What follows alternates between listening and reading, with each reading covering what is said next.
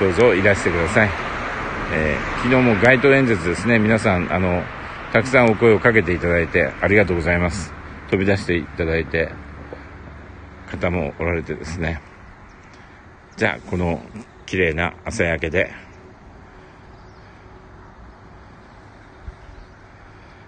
ん？竹中さんですか？それはあの、個人的なところをですね、私たちは個人攻撃で投票行動をしたいと思ってません。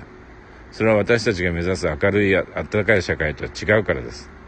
おのずとそういったことを、新自由主義的なことを言ってる人たちとは真逆のものを作ろうと思うわけですが、個人の攻撃はしません。じゃあ皆さん、